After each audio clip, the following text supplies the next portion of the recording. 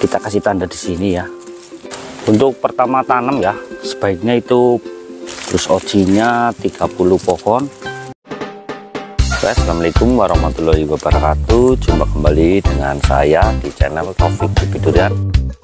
Petani dan penjual bibi durian asal desa Keparongan RT 1 RW 3 Kecamatan Kemeranjen Kabupaten Banyumas.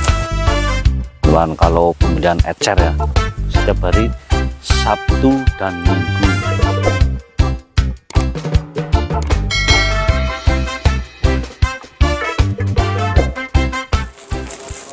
Assalamualaikum warahmatullahi wabarakatuh. Jumpa kembali dengan saya di channel Taufik Bibi Durian Petani dan penjual bibi durian asal desa Keparongan RT 1 RW 3 Kecamatan Kemeranjen Kabupaten Banyumas ya teman-teman. Pada kesempatan kali ini saya mau update stok bibi durian yang berada di lapak saya ya Yang di rumah.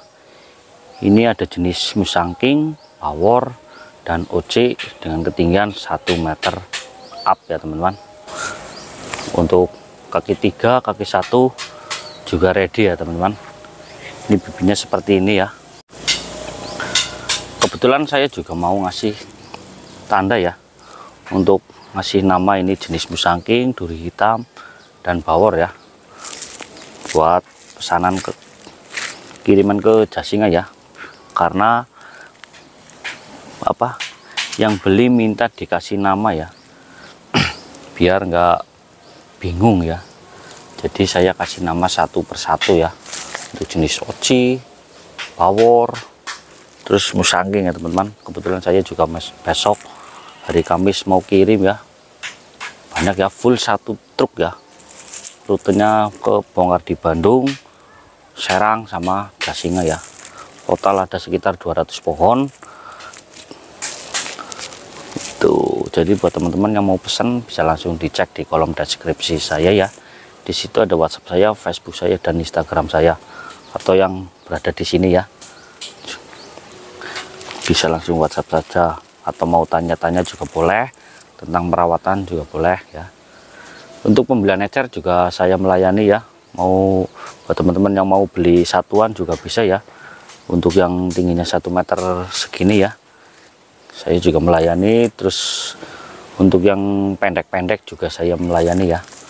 Polybag tinggi 50 sampai 60 cm ya. Rata-rata kaki tunggal ya teman-teman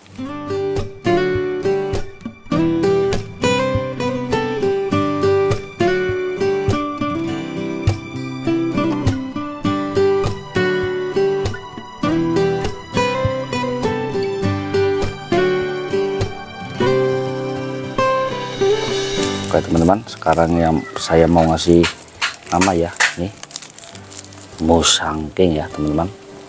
Ini bibitnya seperti ini ya. Kita kasih tanda di sini ya. Biar yang tanam itu nggak bingung ya karena mau di apa ya untuk jenis musangking satu kelompok ujungnya satu kelompok gitu dikelompokin biar nggak keder ini ya teman-teman. Tuh. Musang king kaki tunggal dengan ketinggian 1 meter. Tuh. Nah, seperti ini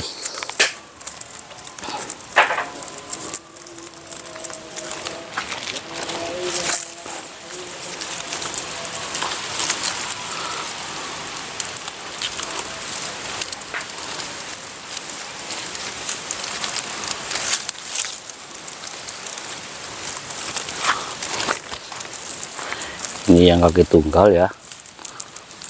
Karena yang apa?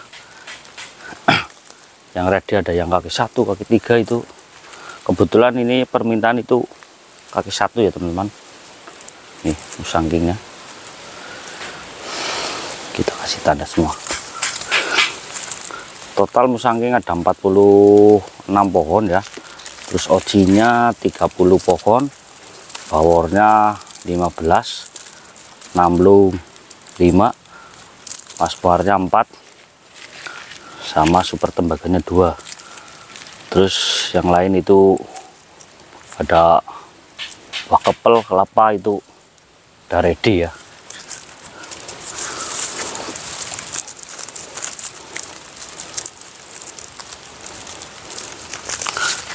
Oke mantep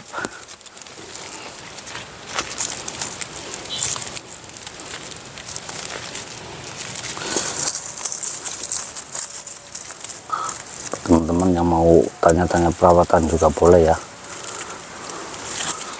Untuk pertama tanam ya sebaiknya itu dibikin lubang terus dikapurin apa dikasih kapur dolomit ya.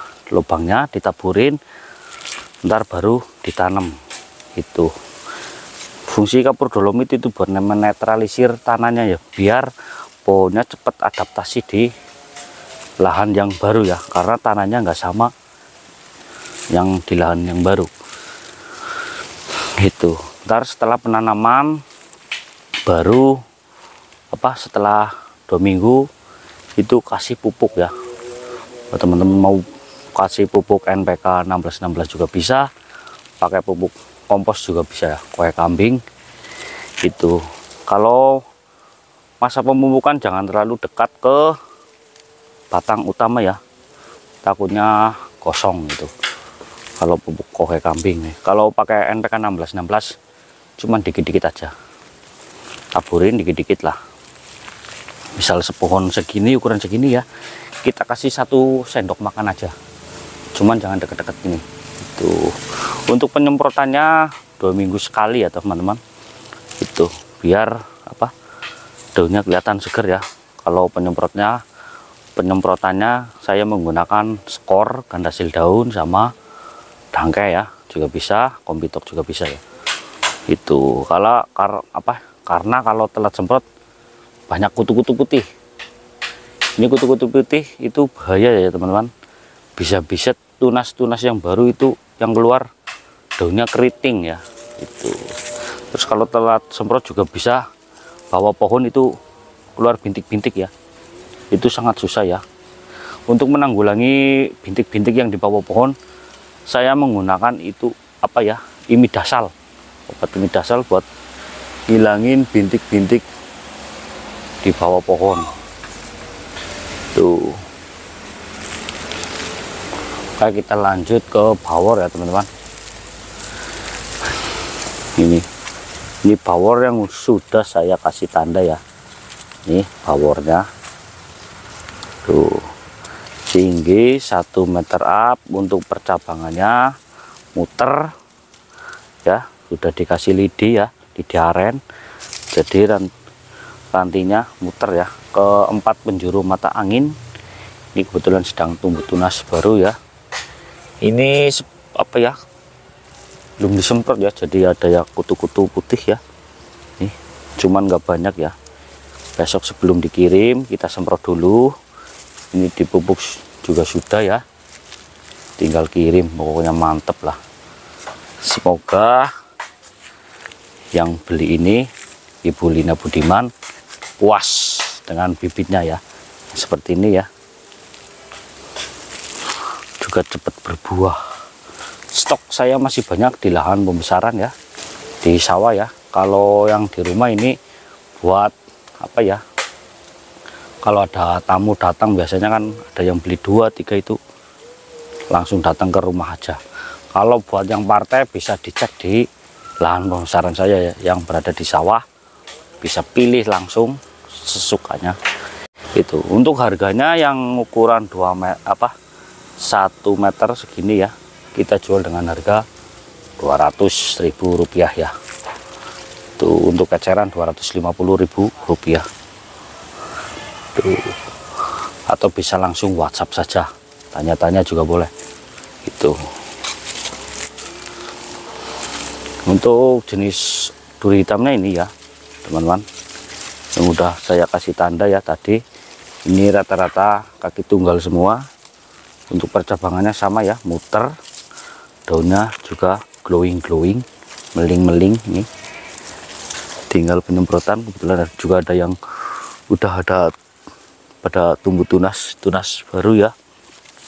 Itu tinggal tanam pokoknya mantep. Oke cukup sekian video dari saya ya. Tentang update stok bibit durian saya. Terus apa ya? Mau ngasih tanda ini.